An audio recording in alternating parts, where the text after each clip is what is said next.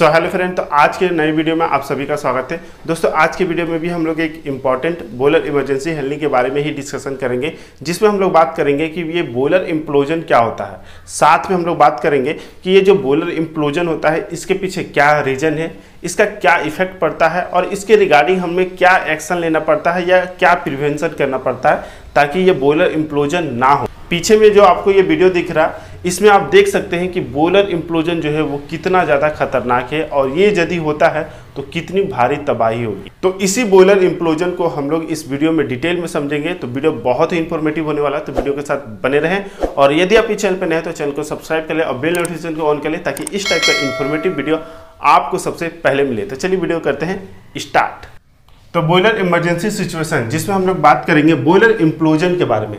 तो देखिए, इससे पहले हम लोग ने जो वीडियो में डिस्कशन किया, वो बॉयलर एक्सप्लोजन के बारे में देखा था। यदि बॉयलर हमारा फटता है तो उसके पीछे क्या रीजन क्या इफ़ेक्ट और क्या उसका प्रिवेंशन होगा? अगर वो वीडियो आप लोग ने नहीं देखा है तो डिस्क्रिप्शन बॉक्स में उसका लिंक या ऊपर आई बटन में भी उसका लिंक दे दिया हूँ, उसको देख लीजिएगा। उसको देखने से आपका ये टॉपिक और भी अच्छे से क्लियर होगा। और यहाँ पर सबसे पहले हम लोग समझ लेते हैं कि ये जो इम्प्लोजन और जो ये एक्सप्लोजन है, वो क्या चीज़ है?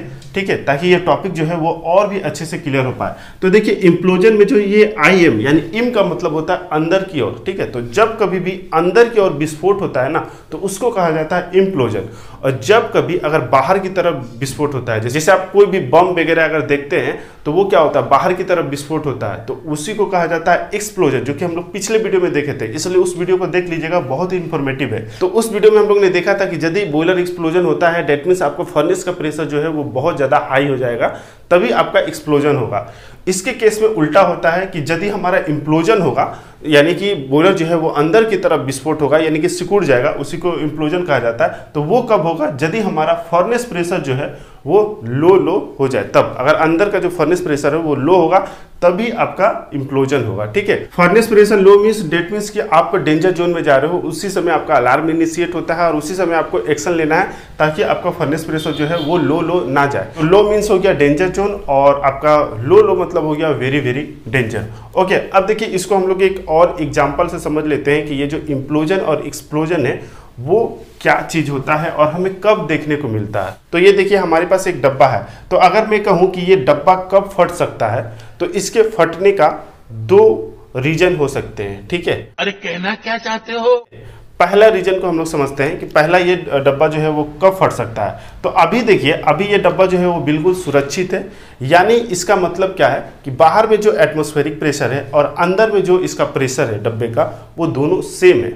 इसीलिए इन दोनों ने इसको बैलेंस करके रखा है। इसीलिए ये जो डब्बा है, वो सुरक्षित है, ठीक है? ये टूटा फूटा नहीं है। लेकिन अगर किसी भी कारण से हम अगर अंदर का प्रेशर को अगर हाई कर दे डेट मीन्स इसके अंदर हम एयर को एकदम पूरा प्रेशराइज करके भरते जाए एयर को भरते जाए तो एक समय ऐसा आएगा कि इसके अंदर का प्रेशर बहुत ज़्यादा हाई हो जाएगा और ये डब्बा जो है वो सह नहीं पाएगा। तो उस केस में क्या होगा कि वो अंदर से बाहर की तरफ़ विस्फोट हो जाएगा, ये यानी कि टूट जाएगा ओके तो आपका उस केस में क्या होगा डेट मीन्स आपका एक्सप्लोजन होगा, जो कि हम लोग बॉयलर एक्सप्लोजन के केस में देखे थे। दूसरा केस क्या हो सकता है?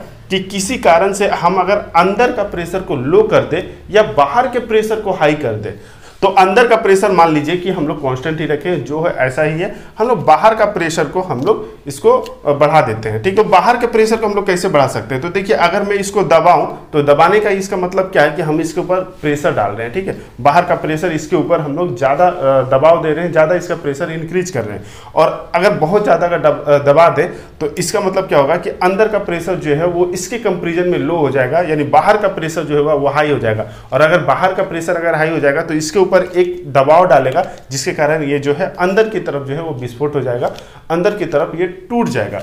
उसी को कहा जाता है इम्प्लोजन यानी कि जब कभी अगर बाहर की तरफ़ विस्फोट होता है तो उसको एक्सप्लोजन कहा जाता है, और जब कभी अगर अंदर की तरफ़ विस्फोट होता है तो आपका उसको इम्प्लोजन कहा जाता है। तो इस केस में हम लोग इम्प्लोजन के बारे में ही समझने वाले हैं, जिसमें हम लोग बॉयलर का इम्प्लोजन देखेंगे। देखिए बॉयलर का एक्सप्लोजन तो आपने कई बार सुना होगा, कई बार आपने न्यूज़ में देखा होगा, लेकिन ये बॉयलर इम्प्लोजन का जो केस होता है, वो बहुत ही रेयर ही केस में होता है। लेकिन फिर भी इसको समझना बहुत ज़रूरी है। ताकि ऐसा एक्सीडेंट, ऐसा घटना कभी ना घटे। ओके? तो आई होप कि इतना तो समझ में आ गया होगा कि यदि हमारा फर्नेस प्रेशर अगर लो लो जाएगा तो उस केस में हमारा बोलर इंप्लोजन करने का खतरा बढ़ जाएगा या बोलर इंप्लोजन हो सकता है। तो आइए इसी के बारे में हम लोग पहले समझ लेते हैं कि ये जो रीजन है कि यदि हमारा फर्नेस प्रेशर लो लो होता है तो ये बोलर एक्सप्लोजन का खतरा बढ़ता है तो ये फर्नेस प्रेशर लो लो होने का क्या क्या रीजन है? तो देखिए, सबसे पहला जो रीजन है कि सडनली फ्यूल लॉसेस अब हम लोग जानते हैं कि बोलर में हमारा कंबर्शन हो रहा है, ठीक है? हमने एक बैलेंस ड्राफ्ट को मेंटेन करके रखा है, जो कि आपका जिसमें पॉजिटिव ड्राइव भी है और नेगेटिव ड्राइव भी है, ठीक है? फ्यूल का कंबर्शन हो रहा फ्यूल फ्लू गैस जनरेट हो रहे हैं और वो एक निश्चित पास से निकलते जा रहे हैं। लेकिन अगर किसी कारणवश से अगर आपका फ्यूल जो है वो लॉस हो जाए फ्यूल आपका जो है वो फर्नेस में जाए ही ना डेट मीन्स आपका कंबसन नहीं होगा। और कम्बसन नहीं होगा डेट मीन्स आपका फ्लू गैस जनरेट नहीं होगा, वो जगह जो होगा वो खाली होगा। और खाली जगह डेट मीन्स आपका नेगेटिव प्रेशर क्रिएट होगा। और अगर बहुत ज़्यादा नेगेटिव प्रेशर क्रिएट हो गया तो फर्नेस प्रेशर आपका वेरी वेरी लो हो जाएगा, जो कि एक इम्प्लोजन का कारण बनेगा। नेक्स्ट जो है positive drive like S A P F D fan trip अगर आपका जो भी पॉजिटिव ड्राइव है, जिससे आपका एयर जो है, वो फर्नेस में जा रहा अगर वो ट्रिप हो जा रहा डेट मीन्स आपका एयर जो है, वो फर्नेस में नहीं जाएगा। और यदि आपका एयर अगर नहीं जाएगा डेट मीन्स वहाँ पर जो फर्नेस प्रेशर है, वो नेगेटिव हो जाएगा, ठीक है? तो उस केस में भी बॉयलर इम्प्लोजन का खतरा बढ़ता है। नेक्स्ट है malfunction of damper IGB scoop of drive अब ये जितने सारे ड्राइव्स होते हैं जैसे P S F D fan तो इसमें क्या होता है कि आपका आ, उसको ऑपरेट करने के लिए डेम्पर होता है आईजीबी होता है स्कूप होता है या बड़े बड़े प्लांटों में आप बीएफडी भी देखेंगे। तो ये अगर किसी कारण से माल फ़ंक्शन कर जाते हैं खराब हो जाते हैं और किसी कारण से बंद हो गए तो उस केस में आपका जो है, वो एयर आपका फर्नेस में नहीं जा पाएगा तो उस केस में भी आपका फर्नेस प्रेशर लो लो जाएगा। ठीक है? नेक्स्ट है malfunction of damper IGB scoop of ID fan अगर जो आईडी फ़ैन है, उसमें भी आपका डेम्पर आईजीबी और स्कूप या आपका बीएफडी भी लगा होता है तो उस केस में अगर वो माल फ़ंक्शन करके अगर पूरा ओपन हो जाए तो पूरा ओपन हो जाएगा तो क्या होगा? जितने भी सारे फ्लू गैस है, वो सडनली उसको बाहर निकाल के फर्नेस को खाली कर देगा। तो उस केस में भी आपका फर्नेस प्रेशर जो है, वो लो लो जाएगा, जो कि आपका एक इम्प्लोजन का कारण कारण बनेगा। नेक्स्ट जो है कि burner failure during the boiler light up हमारा जो बॉयलर लाइटअप जो होता है बॉयलर यदि हम लोग स्टार्ट करते हैं तो उस केस में हम लोग सपोर्टिव फ्यूल के तौर पे आपका बर्नर को लिया जाता है। तो बर्नर जब कभी जल रहा होता है और अचानक वो फेल कर गया तो डेट मीन्स आपके अंदर जो कंबशन हो रहा है वो नहीं होगा और कंबशन नहीं होगा डेट मीन्स आपका फर्नेस प्रेशर जो है, वो लो लो जाएगा। नेक्स्ट है bypass boiler interlock and protection तो यदि हम लोग बॉयलर का इंटरलॉक और प्रोटेक्शन बाईपास करके रखते हैं तो हमारा फर्नेस प्रेशर लो लो नहीं नहीं जाता है। लेकिन अगर ये आपका बाईपास है तो बॉयलर एक्सप्लोजन का खतरा बरकरार रहेगा। क्योंकि अगर मान लीजिए इन इन सभी में से कोई भी एक रीजन आ गया और आपका फर्नेस प्रेशर लो लो की तरफ़ चला गया तो डेट मीन्स आपका बोलर जो है वो ऑटो ट्रिप नहीं होगा, यानी ऑटो में बंद नहीं होगा, जो कि एक इम्प्लोजन का कारण बन सकता है। तो ये हो गया कुछ इंपॉर्टेंट रीजन आप समझते हैं कि ये जो बोलर इम्प्लोजन होता है तो इसका क्या इफ़ेक्ट पड़ता है? जैसे कि वीडियो में ये आप देखें कि ये कितना डेंजर एक एक्सीडेंट है, कितना डेंजर एक फिनमना है।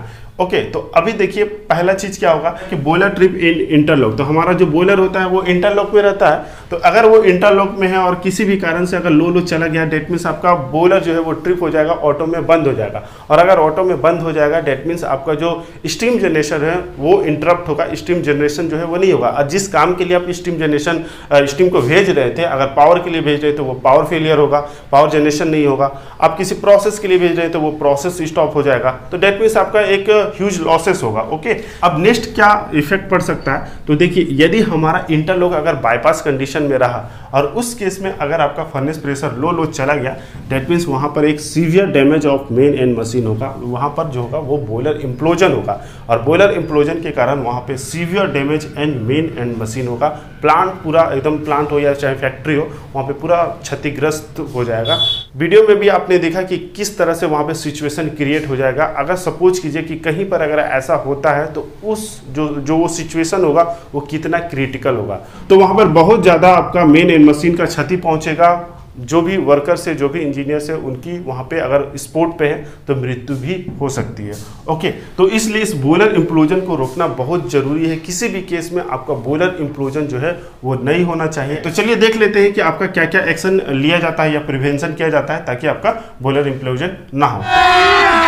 अभी मज़ा आएगा ना। तो पहला जो एक्शन है कि हमें एक प्रॉपर ड्राफ्ट को मेंटेन करना है। यदि आपका फ्यूल जो है वो सडनली लॉस हो जाता है सडनली आपका जो फ्यूल है वो फर्नेस में नहीं जाता, किसी कारण से रुक जाता है तो उस केस में आपका जो फर्नेस ड्राफ्ट है, यानी कि जो फर्नेस प्रेशर है, उसको आपको मेंटेन करना है उसको आपको हल्का जो आपका जो नेगेटिव जा रहा था उसको पॉजिटिव की तरफ़ लाना है ठीक है? जितना आप पहले मेंटेन कर रहे थे उस आ, उसके आसपास लाना है। नेक्स्ट जो है maintain draft if any positive drive trip अब जैसे आपका कोई भी पॉजिटिव ड्राइव ट्रिप हो जाता है ऐसे हो पीए हो या एफडी है तो उस केस में आपका फर्नेस ड्राफ्ट जो है वो नेगेटिव जाएगा तो उस ड्राफ्ट को भी आपको मेंटेन करना है। नेक्स्ट है स्मूथ ऑपरेशन तो जो भी बोलर डेस्क इंजीनियर होते हैं उनको जो बोलर ऑपरेशन करना है वो स्मूथली करना है।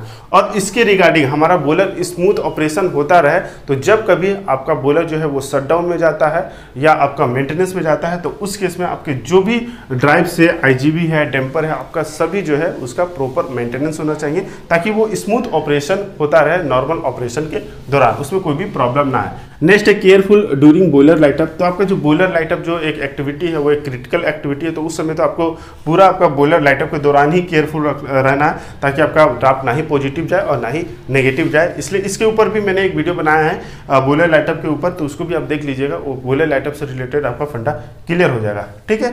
तो ये चीज़ है मतलब हमको किसी भी केस में अगर आपका फर्नेस प्रेशर लो लो जा रहा डेट मीन्स आपके फर्नेस प्रेशर को आपको मेंटेन करके, आप जितना मेंटेन कर रहे थे पहले, उसके आसपास लाना है, ताकि जो है आपका फर्नेस प्रेशर जो है वो लो लो की तरफ़ ना जाए ओके अब नेक्स्ट जो है कि boiler interlock and protection healthy आपका किसी भी कारण से आपका बोलर इंटरलॉक एंड प्रोटेक्शन आपका हेल्दी होना ही चाहिए। ओके okay, किसी भी रीजन से आपका बाईपास नहीं होना चाहिए। अगर बाईपास से डेट मीन्स आप रिक्स जोन में हो और हो सकता है कि जब कभी ये बाईपास कंडीशन में हो तो ये कोई भी आपका रीजन जो है वो आ सकता है और आपका फर्नेस प्रेशर जो है वो लो लो जा सकता है। और उस समय अगर ऑटो ट्रिप नहीं हुआ डेट मीन्स आपका बॉयलर जो है वो इनप्लोजन हो सकता है ओके तो इसलिए boiler interlock and protection healthy होना बहुत ही ज़रूरी है। तो आई होप कि ये वीडियो आपके लिए काफ़ी इन्फॉर्मेटिव रहा होगा। वीडियो कैसा लगा कमेंट बॉक्स में ज़रूर बताएँ। और वीडियो अच्छा लगा तो प्लीज़ वीडियो को लाइक ज़रूर करें। आपका एक लाइक हमें ऐसे ही और कई सारे वीडियो बनाने के लिए मोटिवेट करता है। आई होप कि आप इसे समझे होंगे। मिलेंगे नेक्स्ट वीडियो में। तब तक के लिए जय हिंद।